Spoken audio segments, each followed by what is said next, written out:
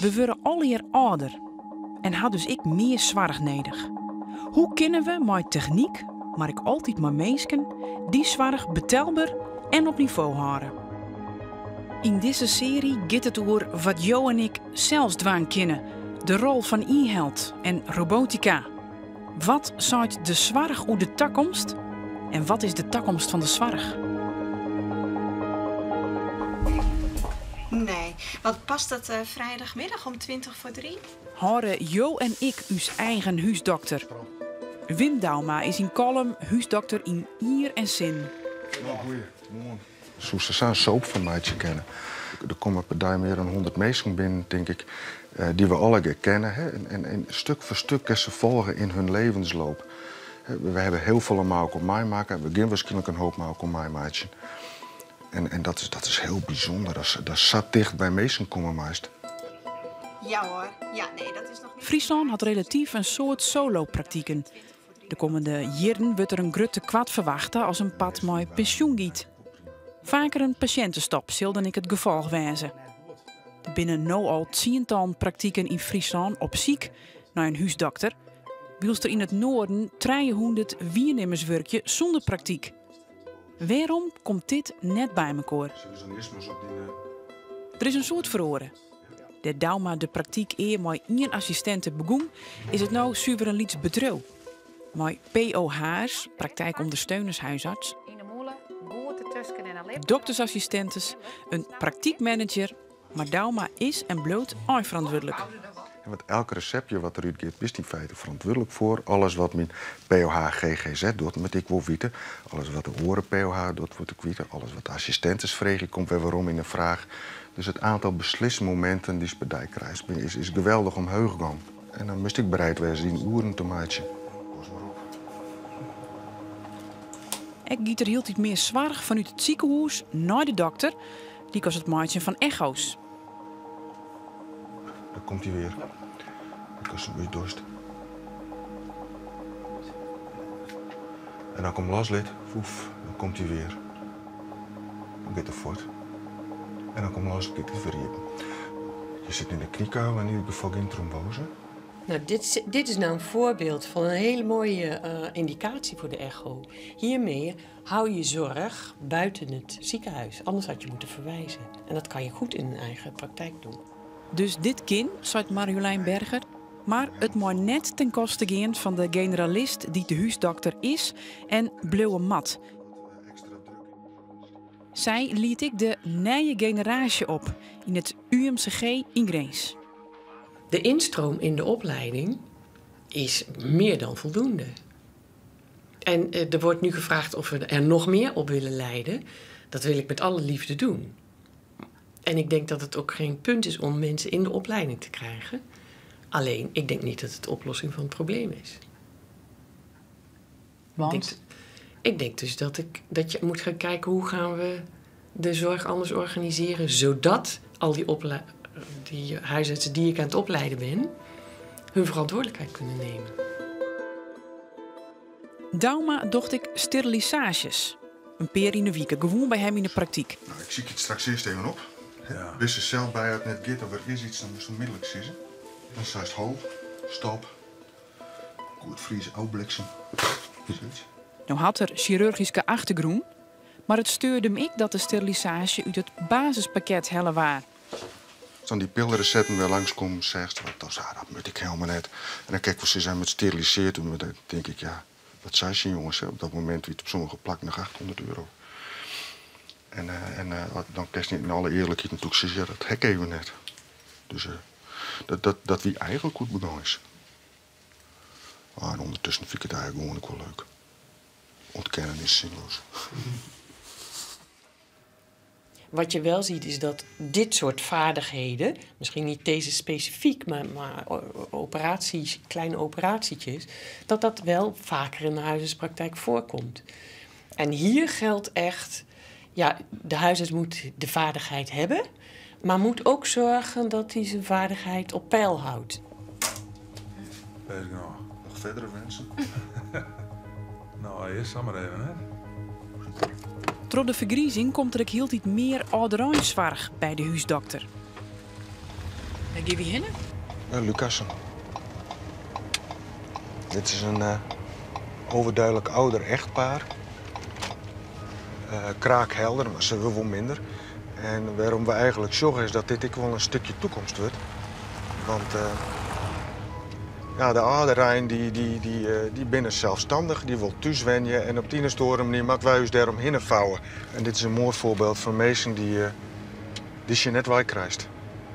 Mooi. Hallo. Wat, wat heb je nodig om, om je maar een twaan op een goede manier het vol te houden? Ik heb haar weinig. Ja, we hebben elkaar nodig, de- uiteraard, maar ook ehm, allerlei andere mensen. Maar die zijn er steeds en dat Ja. is zo fijn. En Thuiszorg? thuis, nou ja, alleen dus als, ik, als we vallen. Tot nu toe. Verder hoeven die nog niks. Ja, ik val niet hoor. Nou, hier zie je eh, nou een typische eh, eh, situatie van de dokter bij mensen thuis, waar je heel veel informatie krijgt, waarin je ziet hoe die mensen met elkaar omgaan, hoe ze leven. En dat helpt je bij goede zorg Als leven. we met de auto weggaan. En juist dat persoonlijke contact maar net verlengd gaan. Bij gelijk zien hele grutte praktijken, zei Marjolein Berger. Als dat persoonlijke contact er niet meer is, dan haal je de essentie van het vak eruit. Waarom kan die huisarts zo'n goede poortwachter zijn? Door dat contact en door die extra informatie die hij daardoor krijgt. Door het vertrouwen wat hij heeft met de patiënt. Ik al verhoor dat er een soort het vak is en bloot prachtig, zei Dauma. En dat vindt de nieuwe generatie ik. Want u heeft met beide ogen last, hè? Ja, allebei de ogen, ja. Zo'n fjouwer hier werkt het Nienke Verhoeven 18 bij Dauma in de praktijk. Kunt u mijn lampjes volgen? ja. Kerst de meesten goed. Dus de wist van, eh, nou, als die komt met dat en dat, dan interpreteert dat heel was. Dan op noorden mij komt, als het ware. En, eh, ja, kennen is wel belangrijk, hè? Absoluut, ja. ja. Dat is ook de charme van uw vak. We hebben nou natuurlijk een prot hoe het het waan is. En dat is een protte vreemde dokters heeft die de meesten net kennen.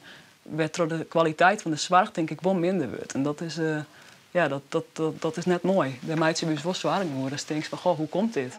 Maar waar won nog een praktijk? Nienke wol, maar Maar nou nog net.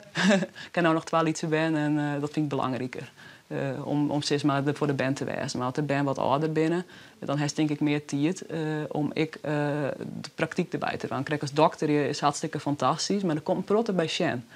Kijk, als uh, de administratie, het personeel, zorgverzekering, oerlezen.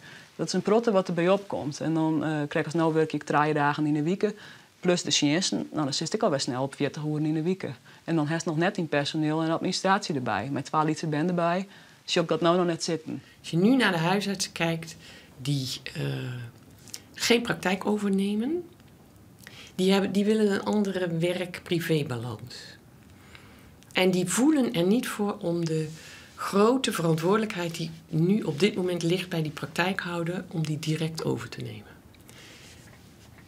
En ja, dat zijn voornamelijk vrouwen. Omdat de, de huisartsen die worden opgeleid, zijn voornamelijk vrouwen. Dus bij 80% of meer is vrouw. Maar ligt dat nou aan het vrouw zijn, daar geloof ik echt niks van. Maar het koffiedrinken komt collega dokter in opleiding Anne Marijendel. Zij had verlof. Zo, er is in het leven een hele hoop belangrijks dat is met name dit. Ja. Super. Zo is dat wol een eigen praktijk in de toekomst? Net mis dat het nou is. Net, eh, net alleen nog. Nee. Maar het uiteindelijk eigen praktijk wel, maar dan mijn, mijn hoor. Ja. Ja, ik ga mij weer Ja. En waarom? Eh, ja, ik denk dat dat samen sterker is hè, dan alleen nog. En uh, Burg is toch mijn gezin, combineer ik. Ja, uh, moeilijk om, om echt uh, ja, alleen nog praktijk te houden. Maar zo is het uh, te werken. Ja. Want is dit de eerste? Dit is mijn eerste, ja. Ja, dank je. Ja.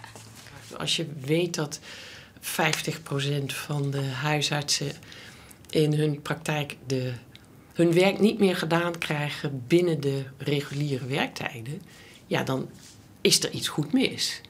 Dus je moet echt gaan kijken hoe gaan we die praktijken anders organiseren. Waar komt dat door? En daar is niet één antwoord op. Je kunt beter kijken naar een andere vorm van financiering. Dat je dus de huisarts eh, op zo'n manier financiert dat hij de vrijheid heeft om zelf te kijken hoeveel tijd hij aan de patiënt besteedt. Ik ben nog lang net uh, om in uh, maar we hopen. Ik, ik heb vast nog zien in werkje en uh, mooi plezier wat mij betreft. Maar we, ik zie thuis wel eens, wij wel we hebben een beetje het gevoel dat we, dat we hekkensluiters binnen hebben. Ik ben er een van de lessen die gewoon van huis uit die, die verloskunde die. En er zijn alle verhoringen die echt net slecht was binnen. Maar ik denk dat in de tijd dat ik ophoud, dat ik hier van de, straks hier van de lessen ben je nog praktijkhouder weer. Dat, dat ben ik wel uh, ben ik nieuwsgierig naar. Maar alles wat mij wordt, hoeft echt net slechter te wezen. Hè? Dus uh, we, we zal het zijn. We met vertrouwen hebben in deze nieuwe generatie. En ik weet zeker dat ze het goed kennen. Hoe zucht de verpleegkundige van de takkomstruut? Maar de zilveren tsunami komende waai moet er op een oren manier sjoen worden naar het werk. Het is weer Mandy. Komen jouw haasten weer op een dagbesteding? Ik kom er aan.